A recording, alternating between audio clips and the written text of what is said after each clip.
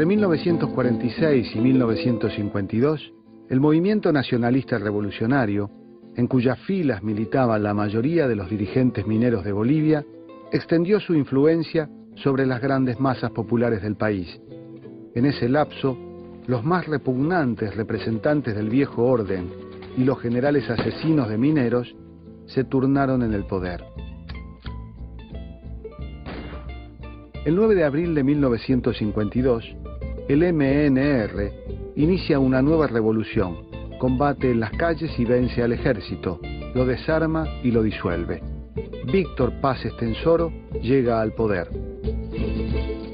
Dos decretos fundamentales definen el nuevo régimen, la nacionalización de las minas y la reforma agraria hubiera sido absolutamente legítimo e históricamente necesario proyectar la revolución boliviana al otro lado del Titicaca, para emprender una verdadera guerra revolucionaria en aquel Perú cuya historia, estructura social, lengua y raza era análoga a la de los campesinos bolivianos. Pero la balcanización se había instalado también en la cabeza de los revolucionarios la revolución no podía garantizar ni siquiera su estabilidad en la propia Bolivia.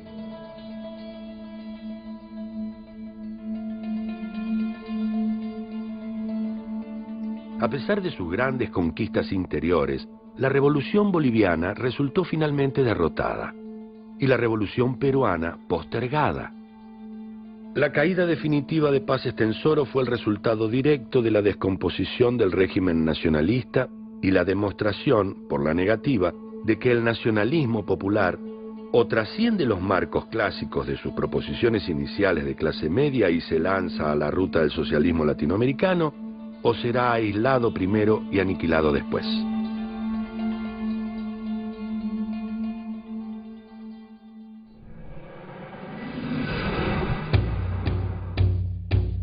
Ramos nos explica en Historia de la Nación Latinoamericana que la unidad brasileña carecía de bases sólidas por su particular estructura social carente de un centro capitalista unificador.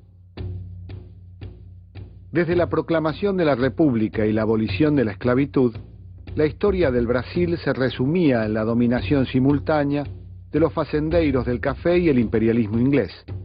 Esta fatídica combinación se expresaba en el control del país por parte de dos partidos políticos, a la vez representativos de dos estados, el Partido Republicano Paulista y el Partido Republicano Mineiro. Ni las clases medias, ni los campesinos pobres, ni los peones serviles de los ingenios, ni el mundo atroz de los desclasados y harapientos de la sociedad marginal, ni los millones de indios del Amazonas, ni mucho menos el reducido proletariado de los centros urbanos, tenían nada que decir al momento de las grandes decisiones nacionales. En cambio, los terratenientes, los grandes hacendados, los abogados de las empresas extranjeras, rodeados de un puñado de políticos profesionales bien educados, eran los que ejercían alternativamente el poder político.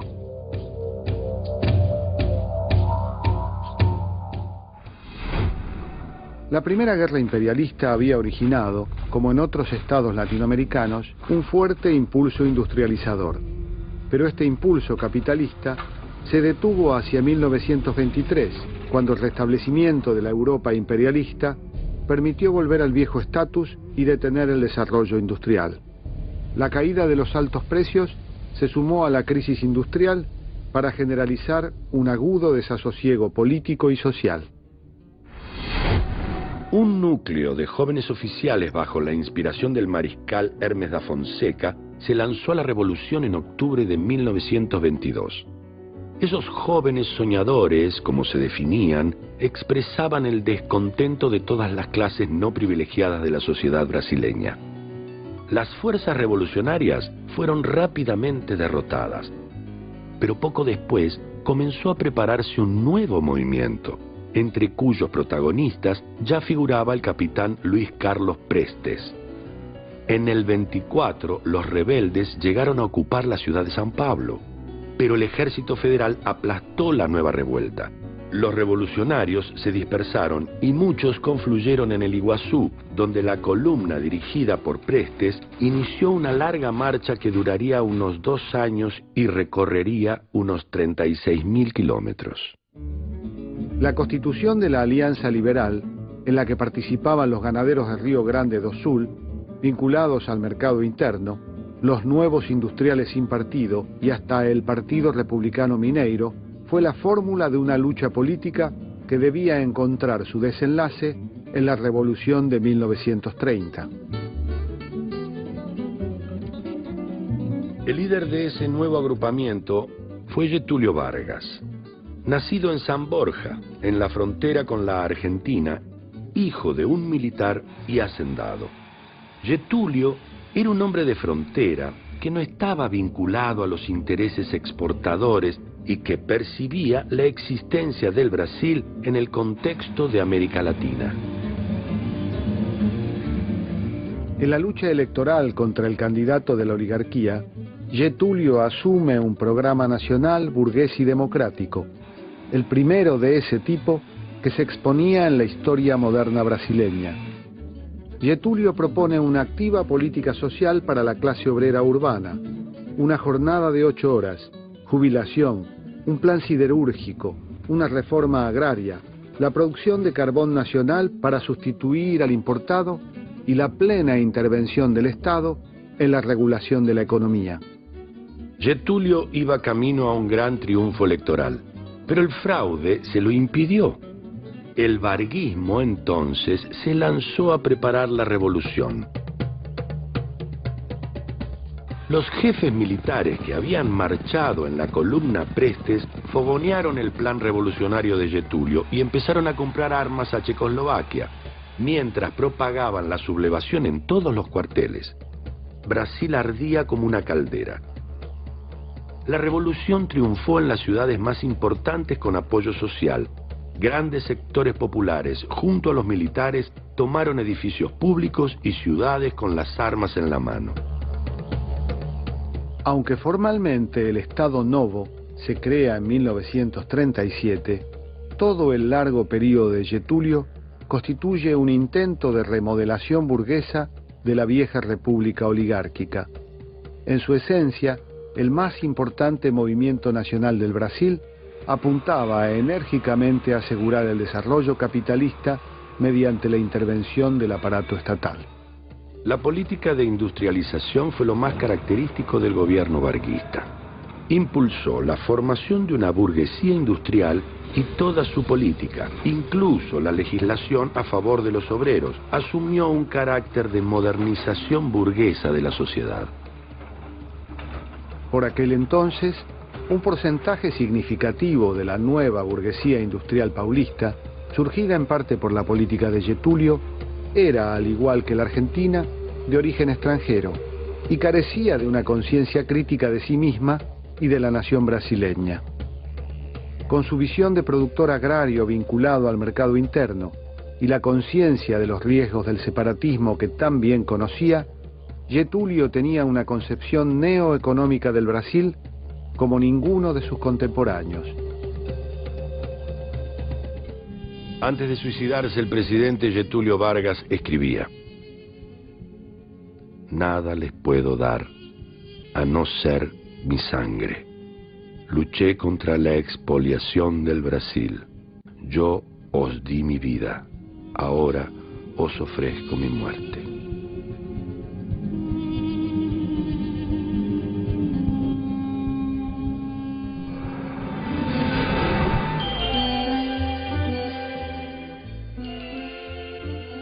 Nos explica en Historia de la Nación Latinoamericana que Argentina era el más europeo de los nuevos estados latinoamericanos.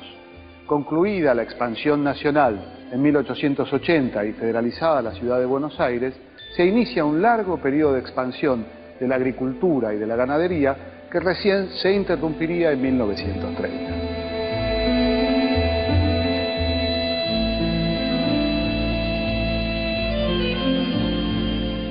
Entre las pequeñas soberanías heredadas de la balcanización, la Argentina gozaba de una renta diferencial que hacía de sus pampas las más lucrativas praderas del mundo. la tradicional indiferencia de la oligarquía porteña hacia América Latina se convirtió en una norma de oro de su diplomacia. El país entero se inclinó hacia Europa. El pródigo intercambio de materias primas contra artículos industriales establecido con Gran Bretaña bastaba para mantener el alto nivel de la dispensiosa oligarquía, de una clase media acogida a la protección estatal y de un artesanado urbano relativamente privilegiado. Junto a una estructura de servicios creada por el imperialismo, este sistema garantizaba a sus trabajadores niveles de vida más altos que al resto del pueblo. El régimen en su conjunto funcionó sin grandes sobresaltos desde 1880 hasta 1930. Se fundaba en el reparto desigual de la renta agraria y las disputas políticas dirimían una mayor justicia en dicha distribución entre las clases participantes. El irigoyenismo fue el primer movimiento nacional del siglo XX que canalizó políticamente a las clases sociales postergadas del sistema agrario, aunque no cuestionara al sistema mismo. Hacia 1930, mientras América Latina se debatía en la pobreza, la oligarquía argentina rebosaba de satisfacción. La caída de Irigoyen disolvió el movimiento nacional hacia nuevos rumbos. Recuperó el gobierno la oligarquía ganadera de la mano del general José Félix Uriburu, un soldado de fortuna, pintoresco fanfarrón de antiguo cuño, al que llamaban Fon Pepe.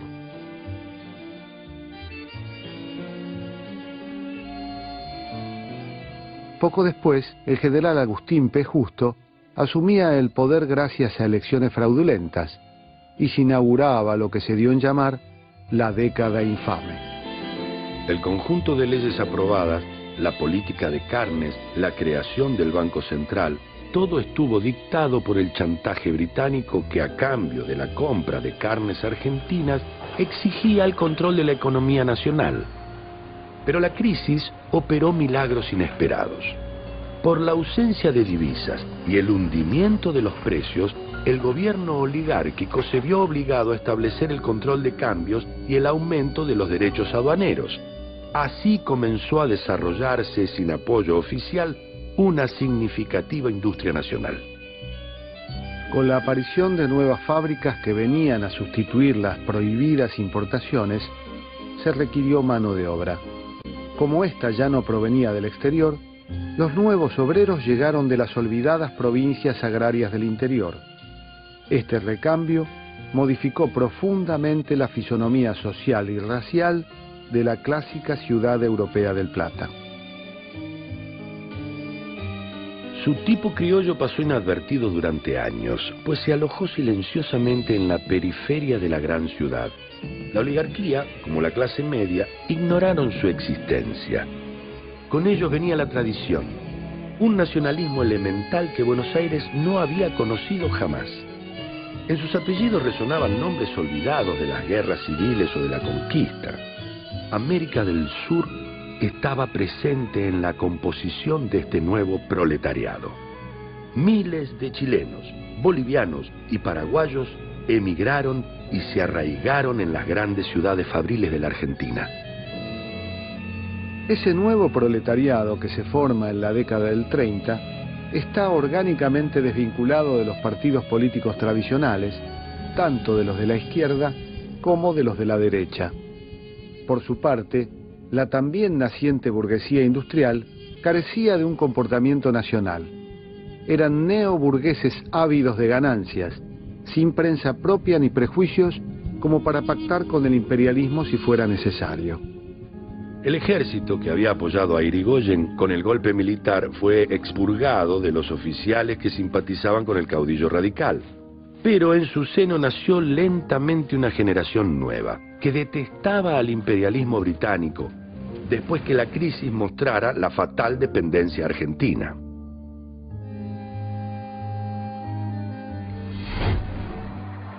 La Segunda Guerra fue el escenario que permitió romper con el sistema oligárquico. Los sectores conservadores le habían impuesto al presidente Ramón Castillo un candidato notoriamente rupturista para sucederlo.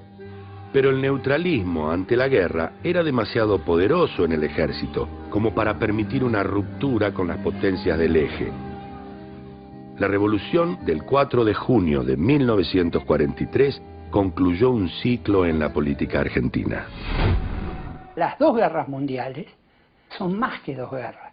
Es un periodo increíblemente rico en transformaciones, en emergencia de modos de organización diferentes.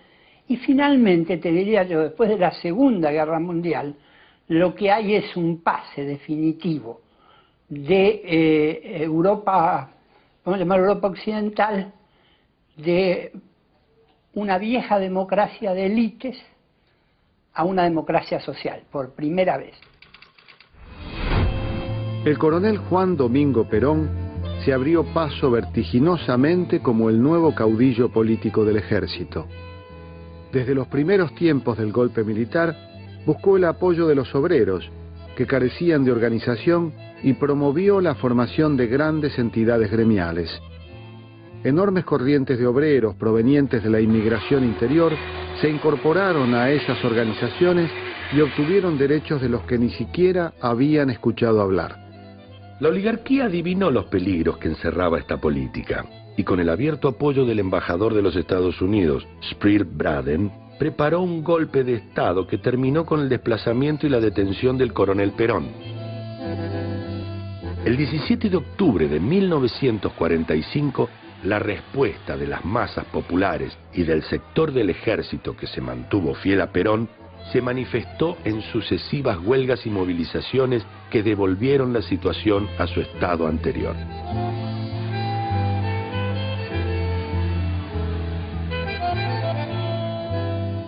Las elecciones del 24 de febrero de 1946 legitimaron el ascendiente logrado por el coronel Perón entre las mayorías argentinas. La victoria de la fórmula Perón-Quijano y los dos gobiernos peronistas conformaron en ese periodo de la historia, por primera vez con el aporte de diferentes sectores sociales, un verdadero frente nacional.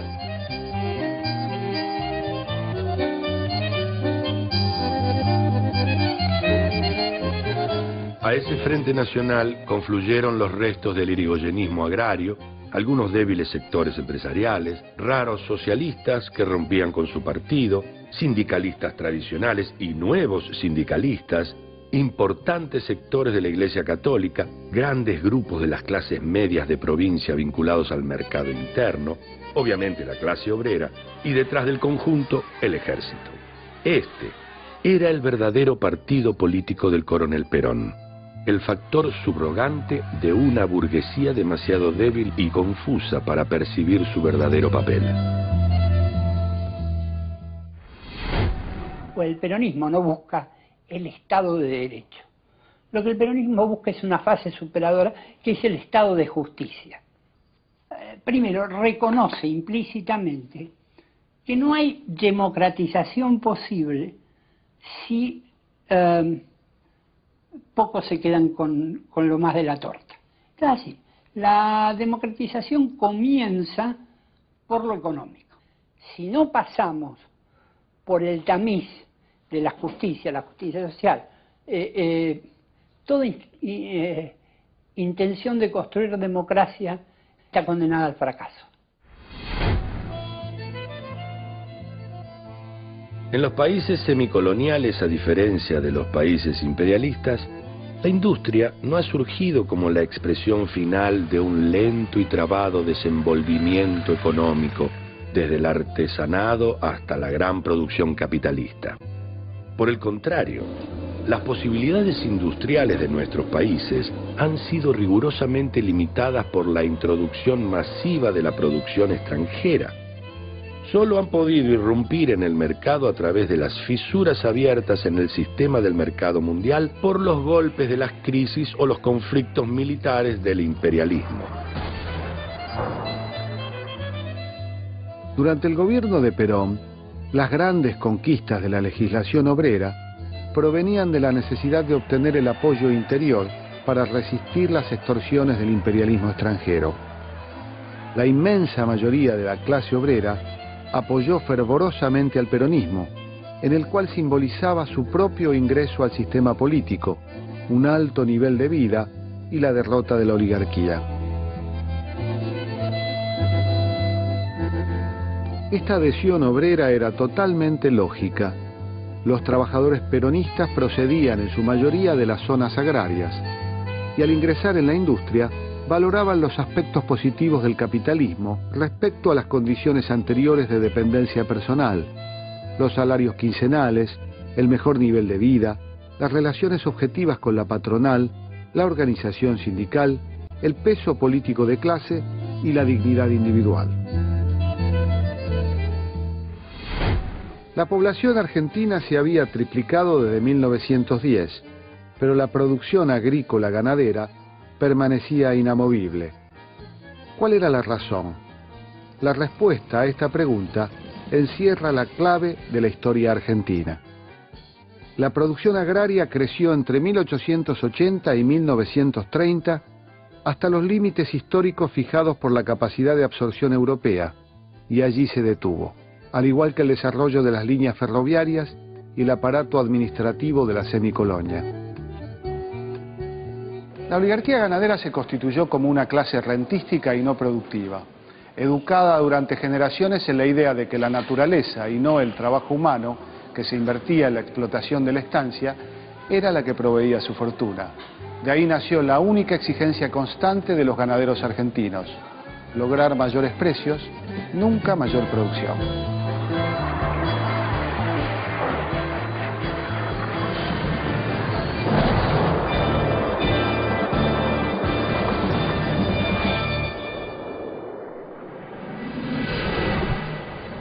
Después de 1940 en diversos estados latinoamericanos se manifiestan movimientos nacionales y populares de tendencias análogas. El velasquismo en Ecuador, el arevalismo en Guatemala, el ibañismo en Chile, el betancurismo en Venezuela responden al fenómeno generalizado de la quiebra mundial del imperialismo y la necesidad de las masas populares latinoamericanas de marchar hacia su revolución agraria y su unidad nacional.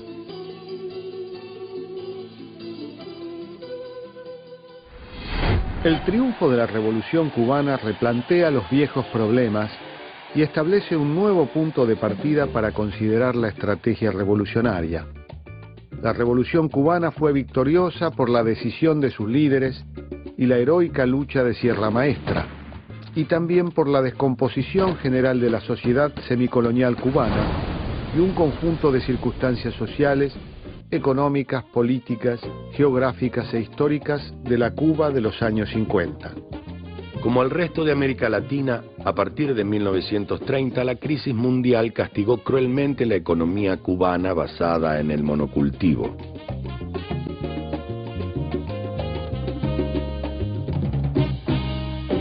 En 1933 aparece en escena el sargento Fulgencio Batista, quien organiza una conspiración de suboficiales declara abolidos todos los grados superiores al de coronel, se designa coronel a él mismo y a un grupo de sargentos amigos y arroja fuera del ejército a la masa de oficiales corruptos y parásitos. Una importante clase media urbana de altos ingresos, dependiente de la burguesía comercial portuaria, ofrecía el espectáculo brillante de La Habana, algo muy parecido a lo que pasaba en el resto de las grandes capitales del continente. Todos ellos gozaban de un nivel de vida radicalmente superior a la gran mayoría del pueblo cubano, sometido a la unilateral economía agraria. Al mismo tiempo surgía cierta forma de desarrollo industrial con su consiguiente clase obrera. Las industrias más importantes transformaban derivados del níquel del azúcar o del tabaco en establecimientos fabriles con altos salarios. Se trataba de productos destinados a la exportación. Pero mientras los centros urbanos asumían las características de lo moderno, el ámbito agrario padecía la rigidez de la producción azucarera y la dependencia de la estructura de precios dictada por los Estados Unidos. Un mundo de trabajadores marginales o desocupados perpetuos, peones ocasionales cuya bronca solo era contenida por el régimen merced a su poderosa política militar y su ejército de sátrapas. El régimen de Batista encontraba su verdadero fundamento en la absoluta incondicionalidad hacia los Estados Unidos, en el triple plano de la política militar, la política exterior y la política económica. Esto le aseguraba una impunidad eterna, supuestamente, porque lo que era soportable para los Estados Unidos llegó a ser intolerable para la propia burguesía comercial pro-yanqui, para las clases medias, para los estudiantes e incluso para un sector de intereses norteamericanos radicados en la isla. El respaldo fundamental de Batista era el ejército, aquel que había desmantelado en 1933 y que había rehecho con sus camaradas de confianza.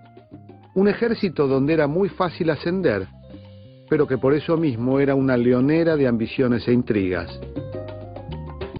Además, el régimen dictatorial llegó a ser un flagelo para las clases medias urbanas, para sus hijos universitarios, para el propio núcleo del comercio importador habanero y en general para las clases cultas que vivían en perpetuo sobresalto por las tropelías de las autoridades.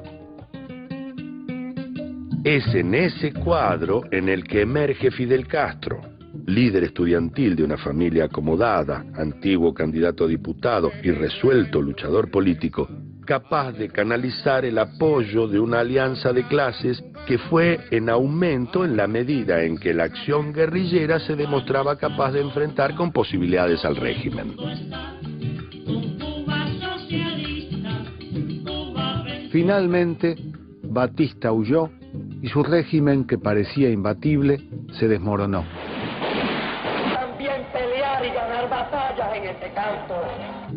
Luego, Fidel Castro invirtió ese hábito tan común en América Latina de subirse al caballo por la izquierda para terminar bajándose por la derecha. En su coraje moral para romper el círculo liberal que lo acompañó hasta el poder, tanto como en su coraje militar, se cifra la gloria de este latinoamericano de nuestra época que no vaciló en abrazar la bandera del socialismo.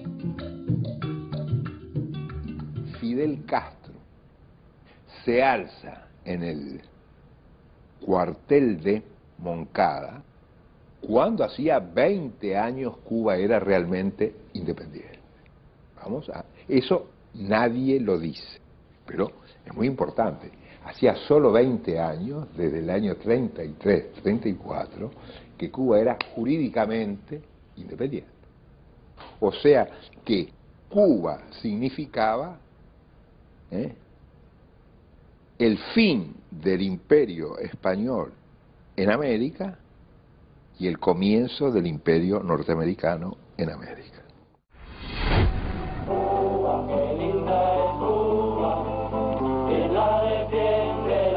A principios de 1959, ya en el poder, Fidel era un nacionalista bolivariano. En pocos meses había dejado de ser un liberal de izquierda y ya estaba en vísperas de comenzar su evolución hacia el socialismo. En los momentos críticos de la historia universal suceden estos fenómenos. Un aristócrata criollo como Simón Bolívar se transforma en revolucionario y un joven demócrata como Fidel Castro se convierte en marxista. Entre los truenos y relámpagos de su drama, la América Latina balcanizada adquiere la convicción de que ya está madura para la creación de su propia historia. La nación latinoamericana dividida en 20 fragmentos tenderá a unirse para emerger del estancamiento y la impotencia. Para liberarse del absolutismo español, San Martín y Bolívar lucharon en todo el continente hasta triunfar. La victoria final solo será posible con la confederación de todos los estados latinoamericanos. Pero esta estrategia, que hunde sus raíces en lo más profundo de nuestra historia común, tiene un nombre moderno, socialismo, y define el problema central, la cuestión nacional.